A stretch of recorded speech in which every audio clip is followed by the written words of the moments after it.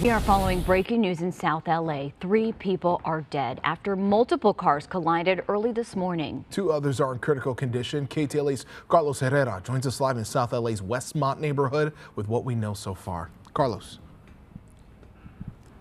And this is a very fluid situation, guys, uh, with information changing uh, every minute, actually. I just spoke with a police sergeant here at the scene. He tells me that, yes, three people are confirmed dead. All he could tell me uh, at this time is that those three are females. Uh, they don't know what age, but they all died here at the scene. And you can see the canopies here, one body here in the middle of the street, the two others uh, in the canopy uh, far over to the sidewalk there. They have also confirmed that there are two cars uh, involved here, and there is at least one other person, possibly two, that were taken to the hospital uh, by ambulance. Uh, we don't know the extent of their injuries. Uh, we don't know in which car they were uh, in, uh, but uh, we're hearing again that they remain hospitalized and they're hoping to get more information as it comes. Let's get you over to some video to give you kind of a, a bigger picture of the wreckage here in this area, the, in this area, the destruction to both vehicles involved, a white Mercedes and what appears to be another black sedan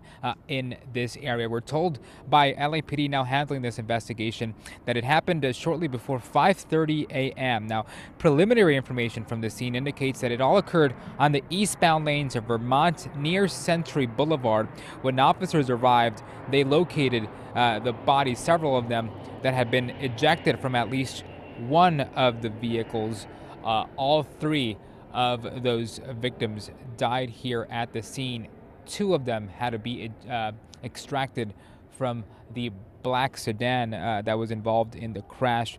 Uh, again, their victims only being described as females, an unknown age, but it is unclear what exactly happened here, what caused it all. It's unknown if speed was a factor, but uh, Pedro Lauren, by speaking to witnesses here this morning that were also being interviewed by uh, investigators, uh, were told that it appears one of the vehicles here was stopped waiting to take a left turn when the other vehicle uh, was speeding, doing well over 80 miles an hour, and possibly ran a red light. We spoke with investigators, uh, and they said they could not confirm that information. Of course, this is part of the investigation. You can see it yellow taped here right behind me.